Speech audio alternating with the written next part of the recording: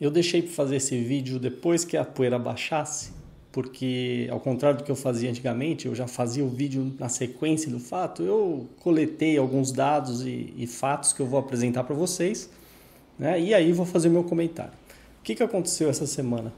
Essa semana né, recebi notificação do Google, do YouTube, de que mais dois vídeos meus foram censurados. Então são eles Sonegação, Crime Sem Vítima, né, que é um vídeo conceitual mostrando por que, que esse crime, né, considerado pelo Estado como crime, não tem nenhuma vítima, já que o Estado jamais pode ser vítima, o Estado nunca faz trocas voluntárias com ninguém, então jamais pode ser uma vítima. Né? Não há que se falar em lesão aos cofres públicos, porque o Estado é apenas mais um ladrão. Seria o mesmo que você falar que impedir um assalto seria causar lesão ao bolso do ladrão, não faz sentido. E o outro vídeo foi o contrabando crime sem vítima. É daquela série crime sem vítima que eu vinha fazendo. Né? Contrabando também é uma troca voluntária. Transportar um produto de um, de um país para outro é uma troca voluntária. Só que o Estado, como todo ladrão, quer sempre meter a mão. É o intermediário lá, o atravessador que quer a parte dele. Né? Agora, Perfeito, os vídeos estavam lá e foram censurados por esse juiz, supostamente, eu não sei se esse juiz, ainda não tenho certeza, Paulo Bueno de Azevedo, alguma coisa desse tipo. Pelo menos é o que foi noticiado no próprio portal da Justiça Federal. Se você procura, procurar no Diário Oficial, tem um nome de um juiz chinês lá, sei lá das quantas. Uh, enfim, não me importa o nome do juiz agora. Né? O que me importa é o seguinte: eu vou mostrar para vocês como tudo que eu que eu tinha falado antes se comprovou. Porque teve um outro vídeo que é Aprenda a roubar com a Receita Federal que não foi censurado. E aí eu alerto para todos, principalmente os libertários, não caiam nessa armadilha. O fato desse vídeo não ter sido censurado, de forma alguma pode ser interpretado como uma vitória né? e sim como uma derrota e confirmação de que o Estado continua se metendo onde não deve.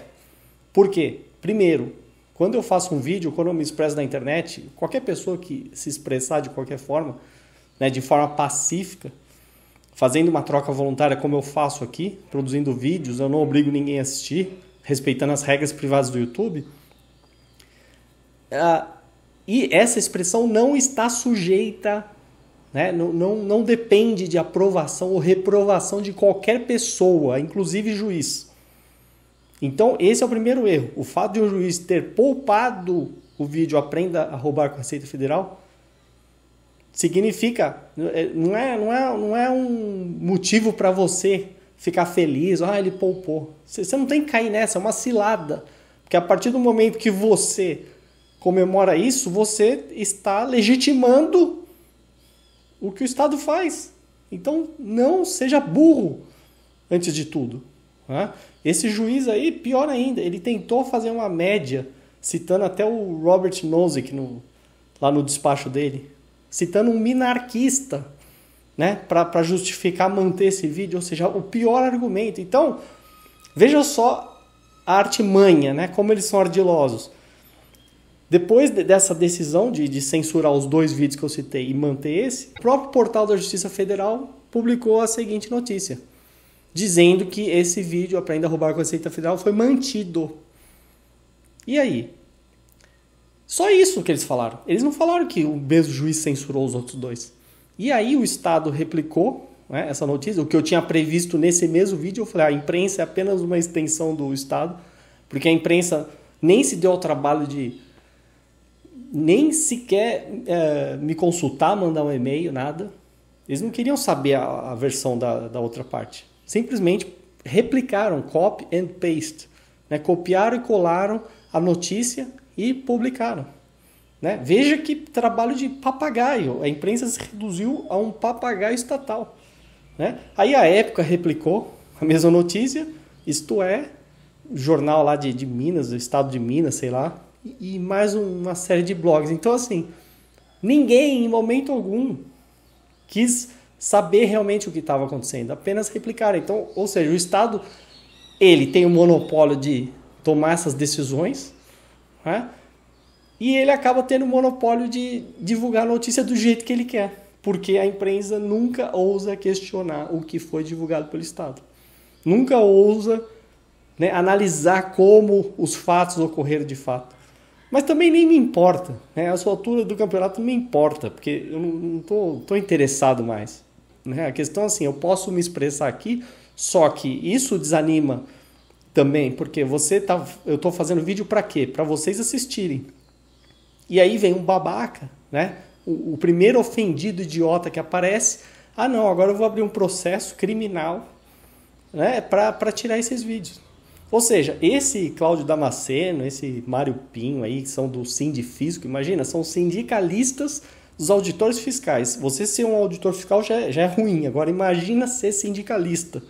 Pior ainda, mil vezes pior. Né? Além de você defender aqueles que roubam, que que estão ali só para ajudar a máfia estatal, ele também aproveita para né, é, roubar os próprios colegas. Ou seja, é o sindicato que você vai ter que contribuir manter. Não tem nada mais vagabundo do que isso. Né? E aí, é claro que vai chorar pro estado babá, e falar, ah, mamãe, ele falou mal de mim, ele isso e aquilo, tira esses vídeos, que eu não aguento ficar vendo esses vídeos. A verdade é que esses auditores fiscais vestiram a carapuça, é só isso. Né? Te, teve até um momento lá, eu, eu não, é, tá muito confuso esse processo. Quem, quem for da área de direito pode pegar os links e analisar. Mas uma hora, o, o, no, no, no, PDF que o Google me mandou, falam que, a, falam que é a União que abriu o processo. Né? Depois falam em Secretaria da Receita Federal, depois falam nesses auditores fiscais do, do Sindifisco. Então, ou seja, tudo mesma merda, né? Não importa, é a mesma merda ali, não tem diferença nenhuma. E, enfim, eles não têm capacidade sequer de refutar o que eu falei nos vídeos. Por isso que eles apelam para truculência, para violência. Né? Eu desafio esse Cláudio, esse Mário aí, quem quer que seja, qualquer auditor fiscal, vocês não têm argumento nenhum para derrubar um argumento anarcocapitalista, um argumento libertário de fato.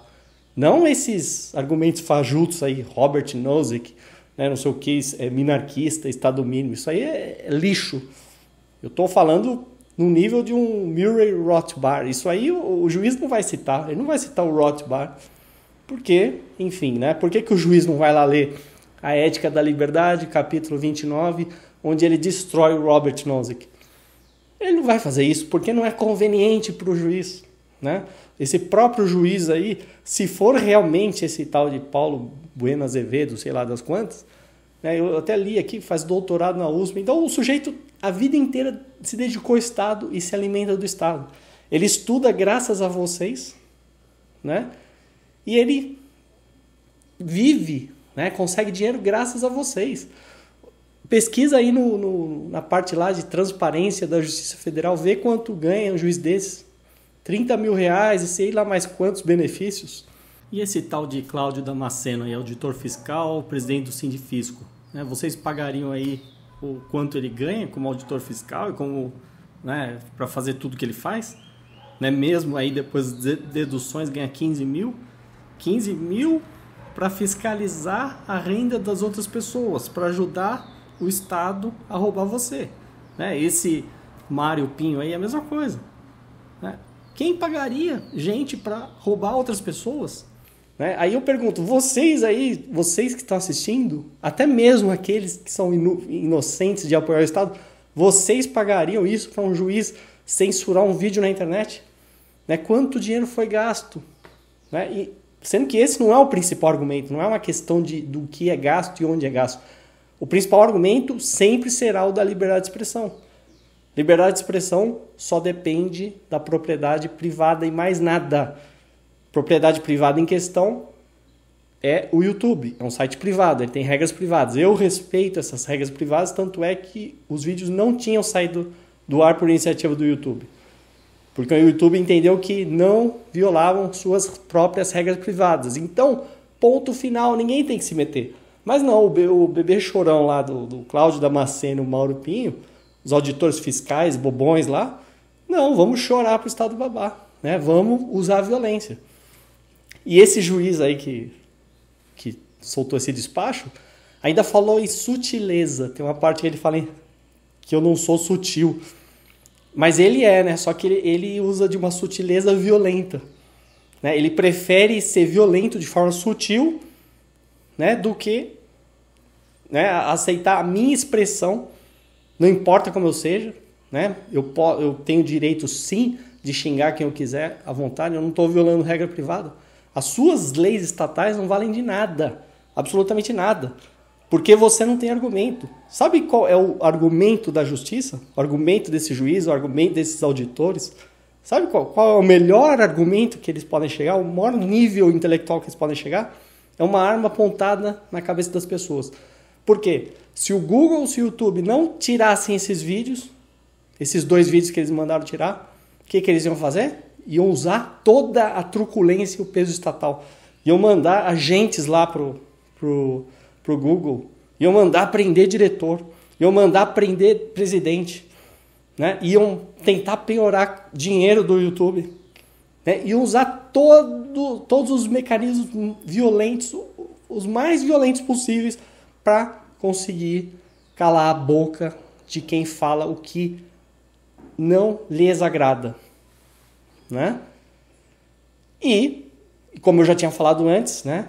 O mais patético disso é que não só vestiram a carapuça, como confirmaram absolutamente tudo o que eu falei nesses vídeos. E outra, vocês jamais vão conseguir tirar esses vídeos porque um monte de gente replicou esses vídeos, tá? Os vídeos que foram censurados já foram replicados, tá? Eu também já, já repliquei esses vídeos e estou disponibilizando o link para as pessoas baixarem e replicarem ainda mais. Então, ou seja, não adiantou absolutamente nada.